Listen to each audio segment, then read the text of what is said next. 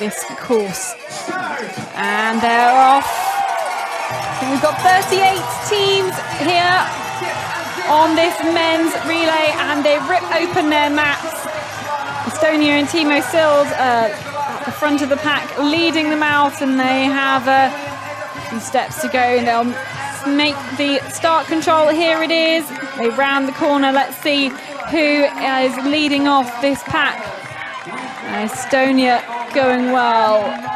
So, team from the US, all 38 teams make their way, and it's of course the first time that they see this map. I think. Do you think they'll be expecting this this start?